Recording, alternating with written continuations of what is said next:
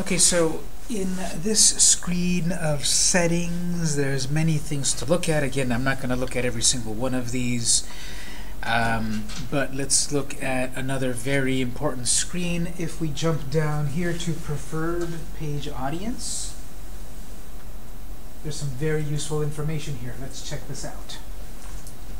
Preferred page audience. Uh, to simplify our settings, we removed the page preference audience, which could edit. You can still add or edit country age restriction. Ah, that's interesting. I hadn't checked it until today, but when I taught this, you know, two months ago, this, this was here. Okay, so never mind. Never mind about this page at all. Uh, this is related to something else that we will look at uh, in a little bit also.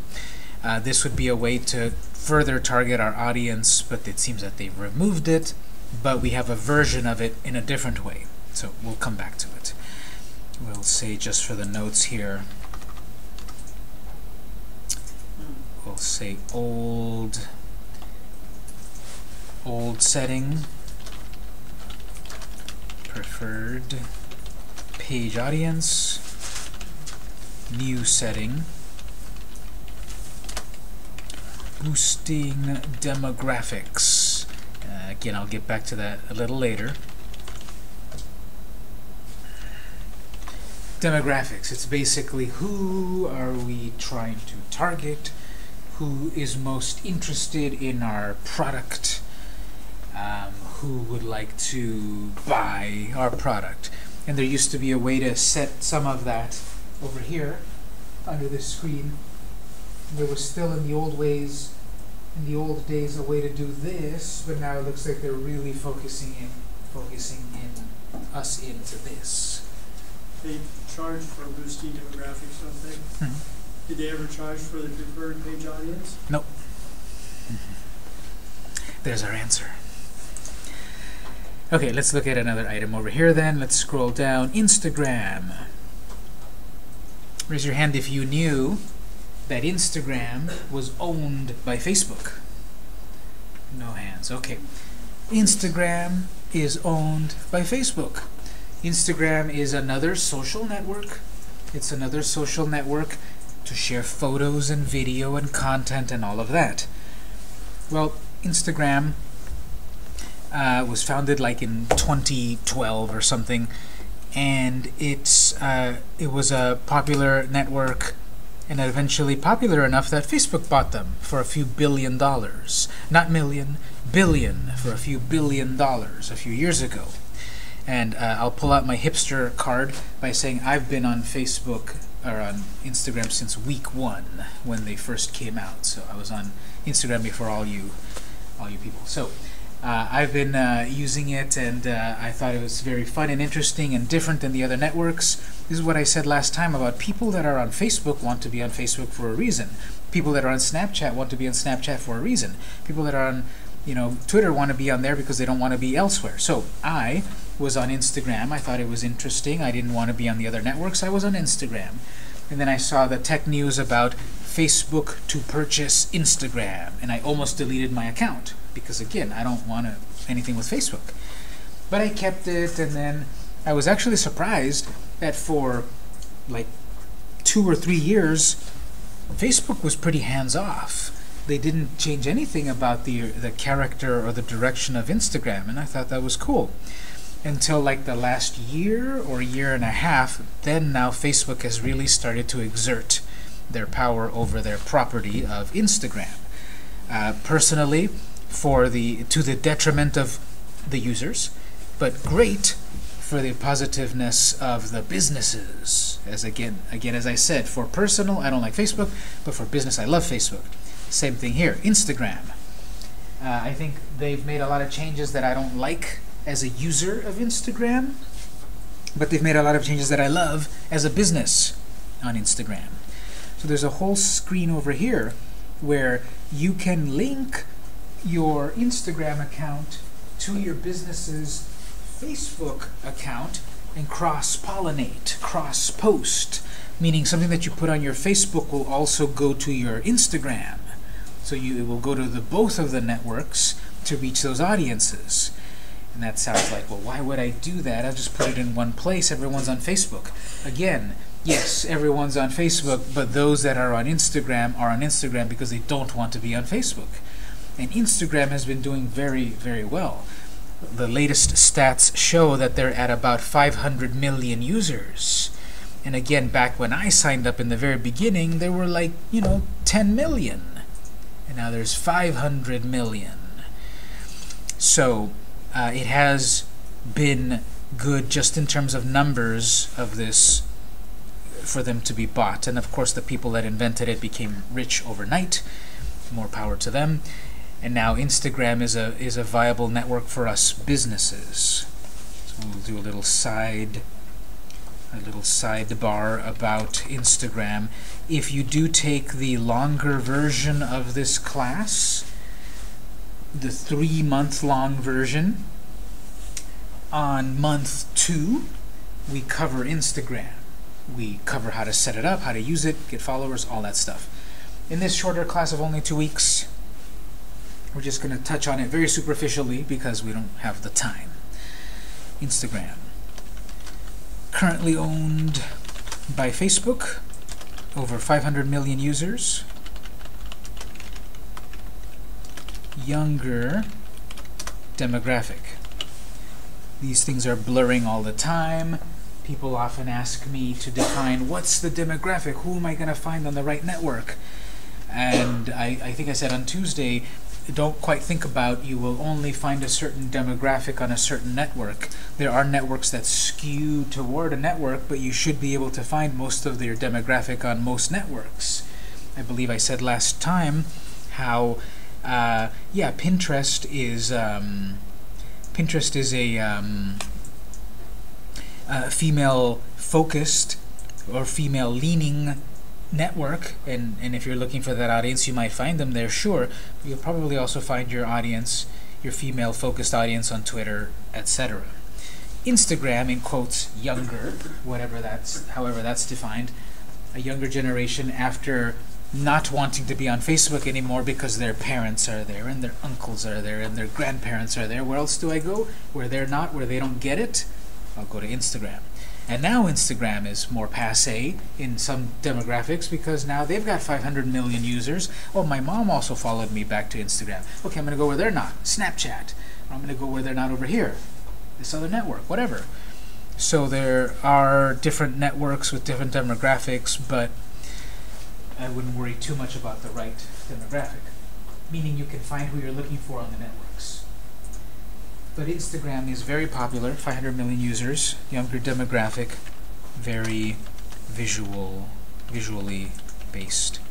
So photos, videos, stories.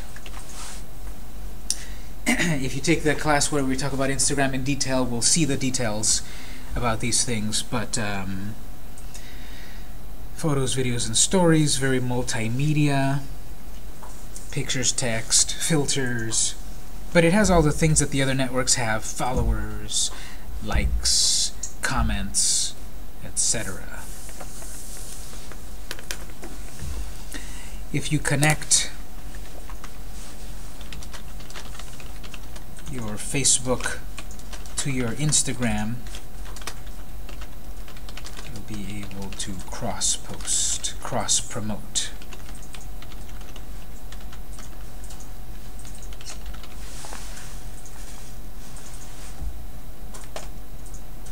meaning you post something on Facebook and it can go over to Instagram. Uh, you hit two birds with one stone. You put the one picture on your Facebook and it'll also go to your Instagram.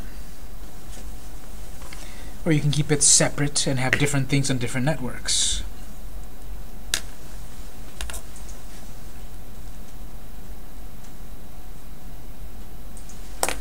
Let's see what other settings are on this screen add your Instagram to get started, add your Instagram profile here, manage comments, create Instagram ads. Yeah, so if, uh, if you do have an Instagram, you can connect to it here. They will then both be used together. Any questions on this screen? okay, so The other settings, you can kind of look at them on your own. There's your support inbox, payments, talk about that later. Uh, branded content. Okay, you can look at the rest of the settings on your own. The ones I really wanted to cover were the connection to Instagram, your page roles, and the um, and the uh, general. From the top strip over here, we have page, inbox, etc. Let's look at each one briefly and then in detail. Page is the home page of this page, the home screen of this page. Where home at the top over here is the uh, the home that will take you back to the very top level of your of your name of your account. The um, page there at the top left takes you back to edit your main home page. So we'll have um, top white menu. From left to right we've got home, inbox, notifications, insights, publishing tools admin feed. Insights Publishing Tools.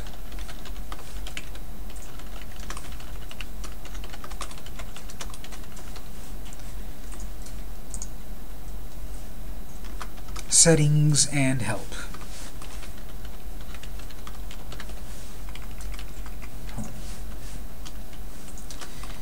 Takes you back to the home page site shows you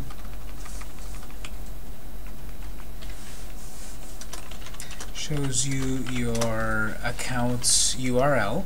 Every time you go, you you click that home button, it will show you the URL at the top bar. That's that's your address to then send out on an email or um, to share on another network. So it's a quick way to refer back to what your URL is this home page where you post something new. So video, photo, text, whatever. We'll see what other options we have. Um,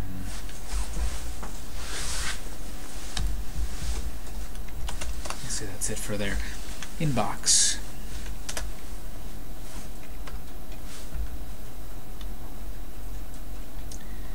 Uh, your back and forth communication with your followers.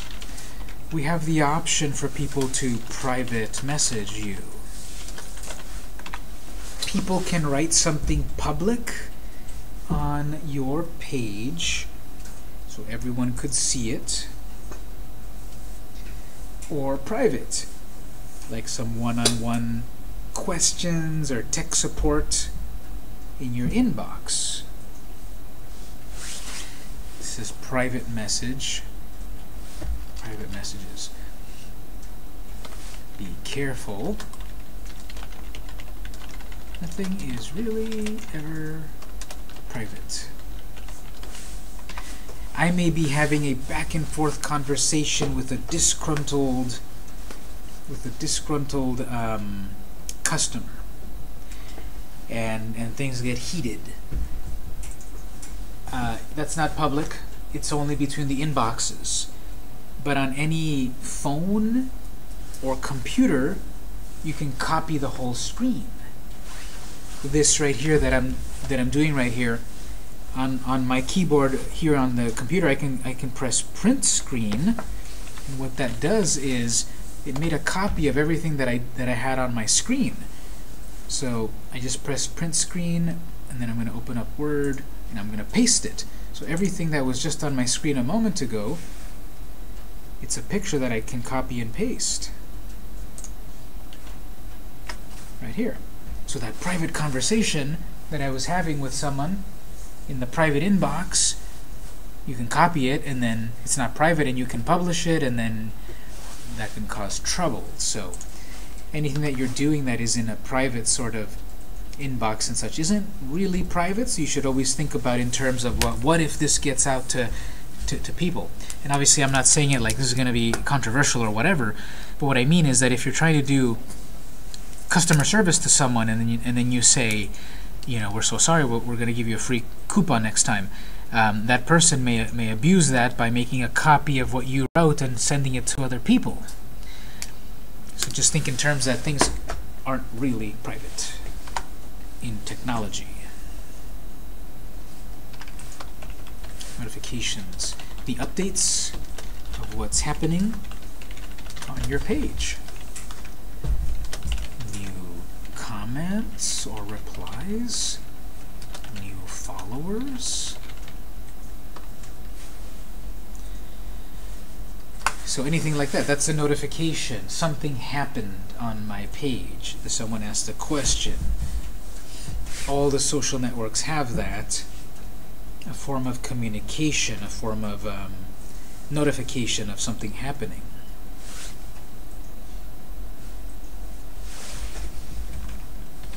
Insights. The data of your impressions and conversions.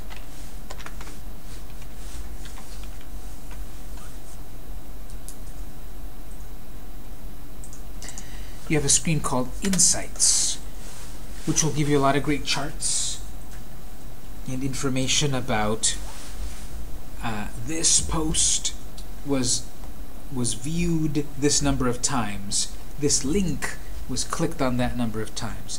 This kind of share was more popular than that one. This demographic, this age group is more active.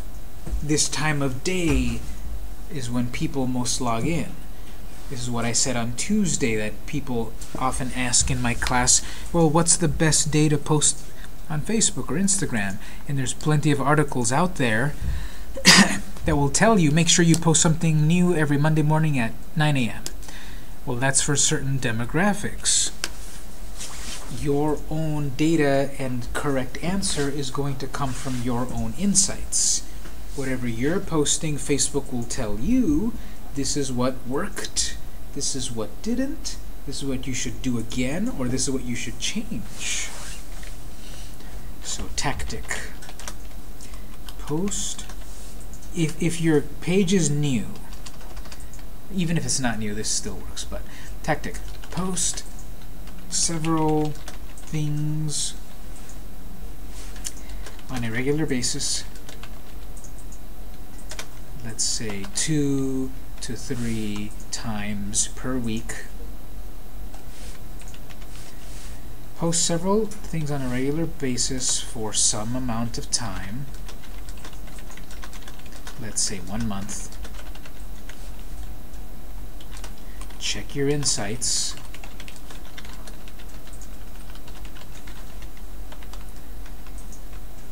Determine your future course. I'll show an example with a real client in a moment.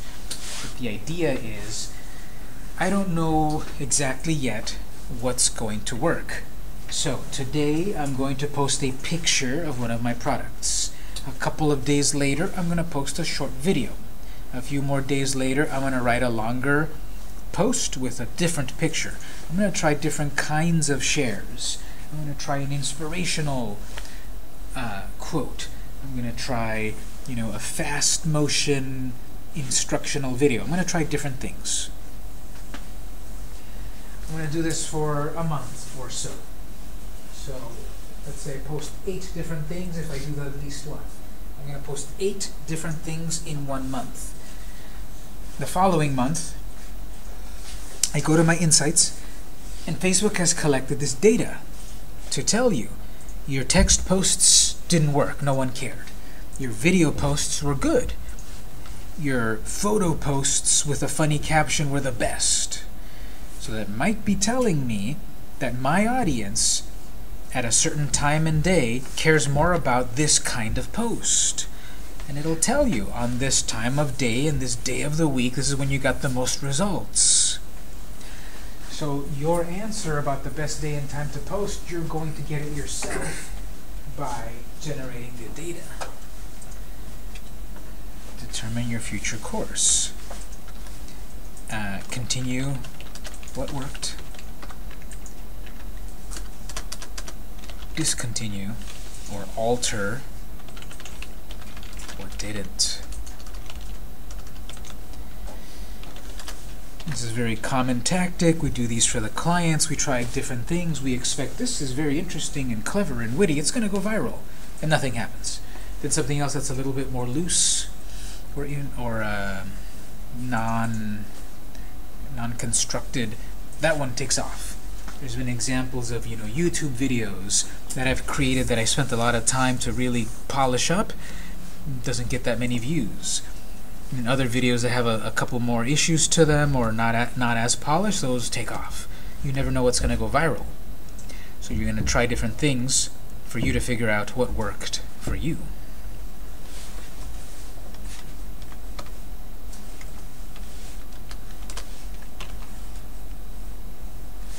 Publishing tools. Everything you've published so far.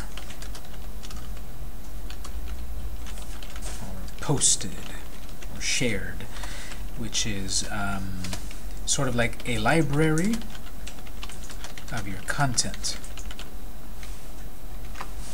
Those videos that you've up, that you uploaded a month ago, you can reuse it two months later. Um, the posts that you made, you you can bring them back, review them, republish them, and such. So it's like a repository of everything that you've po uh, posted to to your Facebook page.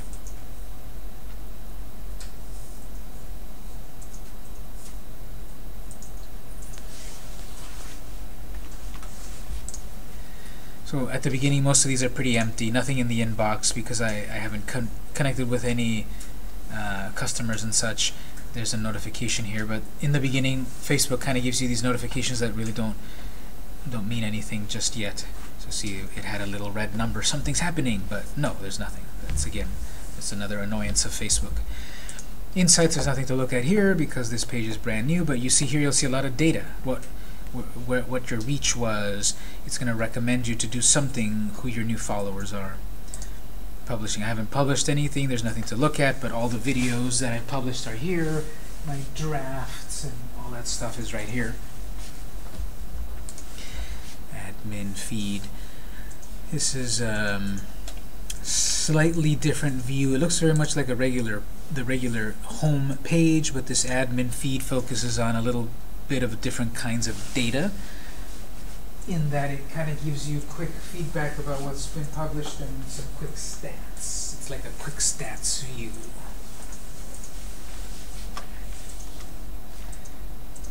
I hardly ever go there, but quick stats. What's that?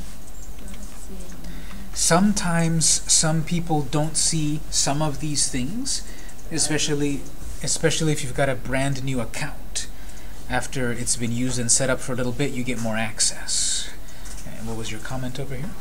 Is it we don't see the admin feed? Is that because I don't see it either? Yeah, some of you might not see it just yet. Because I've used business pages for a while, they give me more features, but as you guys set them up and use them, you get a few more features. You, you might not even have insights. Do, do, do you guys see insights? Okay, so you might not see a lot of, or some of these, simply because the account is very new. They're trying to prevent the spammers, so it doesn't give all the features. And, as I said, I don't really use quick uh, the admin feed that much, so it's not even like a really big loss. Settings, that's obvious. These are your settings settings are your settings. And help is the um, you know uh, contact tech support. And because they've got two billion users, they get so many help requests that it can be like shouting in the wind to get results. There's going to be so many of these help yourself articles which can only take you so far. So there's a help there's a help system. It has worked. I have used it to straighten things out with them, but uh, it's very common to kind of be waiting and waiting until you get a response just because there's so many fires to put out that Facebook has, doesn't have enough personnel to answer everything.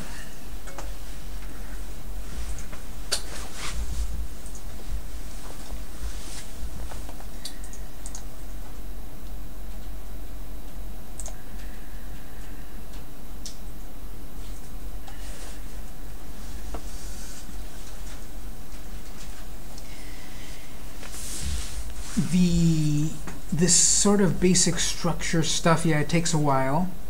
We haven't posted anything. We haven't tried to get followers. We will continue that. We will we will do one more thing, then we'll end for the day. We will cover some more Facebook also next time, and then Twitter. Then the class is over. But the concepts that we cover for one network will also apply to other networks there is a whole settings that are similar on Twitter. There's notifications on Twitter. There's notifications on Instagram. There's a lot of these things on a lot of the platforms. They're becoming so similar nowadays, for good and for bad. So, um, I want to cover something here, however, that is unique to Facebook. Uh, we haven't covered these other things about photos and video. We will get to that. But I want to cover something here that is very cool and unique to Facebook. If you go back to your page, right, your home screen of your page, below your cover photo, you've got a bunch of options here, and one of them, mine says send message. Does anyone have it say send message? Yeah. What does yours say? Add button. Add button. Okay, interesting. So some people will say send message, some say we'll add a button. This is what is known as the call to action. Whatever yours might say, there's a button that right there that we will call generically the call to action button. Just try something here. Okay, yeah, add a button right there. Um, below your cover photo, so we'll say here advanced tip. Add a button. Below your cover photo, you have a call to action button. A call to action is a marketing term about something that entices, or better yet, convinces your customer to do something. It's a call to action. Do this. Hey, my followers, do this. Call to action. So there's a call to action button below your photo the advanced tip is set up a CTA, call to action, a CTA. Set up a CTA button as soon as possible. We'll look at what this button is. But this is going to be a button that Facebook is going to show first um, when someone checks your page. And even better, when someone checks your page on mobile, that's going to be also very visible. It's going to be one of the first things they're going to see. And we should know that we, our customers and, and everyone, has has such short attention spans nowadays. We've got so much to do. So the thing, the easier we make things for people, the better. And this CTA, this call to action button, is one of the easiest things that we can do and one of the most direct things. Let's check out how this looks. So mine says add a button Add a button to get people to take an action from your page, such as shop or sign up. Clicking on that pops up all of these things. If I've got a business and I sell my food online, I've got order food. So a button will show up very easily, especially on mobile. They visit my page, order food. Maybe I um, I'm selling something, so make a purchase. They will see a, a, a purchase button right away. As an example, under make a purchase, I have either shop now, see offers, I have other options. Other options. That button that you see there, there's a few, there's several sort of like templates that are built in. And there's customizable to some degree but it is limited as well. Um, in the make a purchase, I can either make the button say shop now or see offers. I, I can't change it to say buy this. I can't customize it that way. The template is set to some degree. Under shop now, for example, I click that. And all that it will happen is it will say the, bu the button shop now with then a link to my website. This isn't exactly about selling the product quite yet. It's still guiding people back to my website. Just an example, adding that. I guess we've got other buttons. Add a button. So what happens now, when people visit my page, one of the first buttons they will see is a button that says Shop Now. They click that, and it goes back to my main website. So I can edit this. I took them to the main website. I could edit this to say directly to, you know, uh, shopping cart.html. This assumes I have a website. This assumes I have a shopping cart. This assumes I have a whole structure. This is not like that they're going to create a website for you. This is only going to guide people. It's only going to call them to an action, which is to click here to go to the website. So this assumes I've got a website. Clicking that button would then take people over to my website to the shopping cart. And once I've got that, notice I would love it to say something like, buy cookies now. I, can't change it. Whatever the name of the button is, with some customization is what I can do. Let me delete that and then put a different. You can only have one of these buttons at a time. Let's say instead I want um, get in touch, call now, contact us, send us a message, sign up for something, get a quote. So I have that button that says get a quote. Well, that is going to have some different kind of setup. It's going to have the words get a quote, but we can't change that to anything else. Get your free, you know, get your free uh, tax prep quote. I can't do that. I'm a tax preparer on my page here. I can't change it that way exactly. And what's going to happen is I can fill this in with a phone number and a and a question that will be asked and which will be sent to my inbox.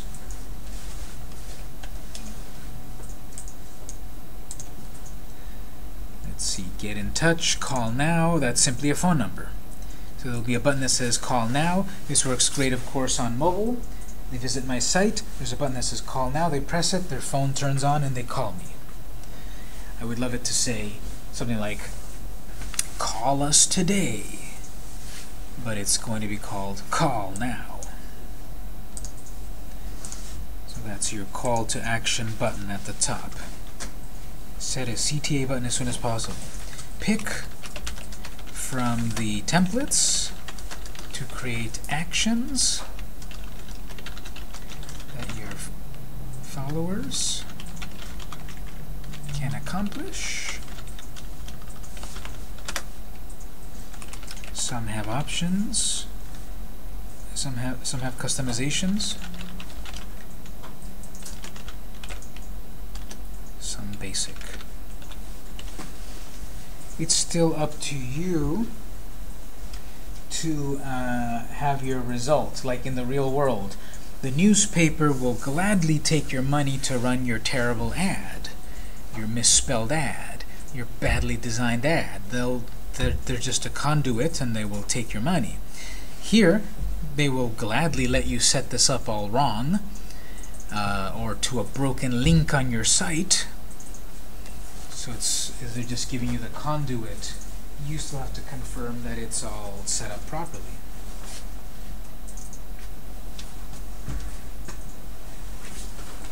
So you want to add this button. Why? It's one of the first things your customers will see, especially on mobile.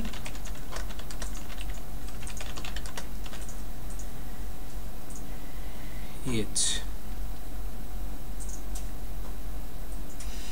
especially on mobile, it will easier for them to accomplish.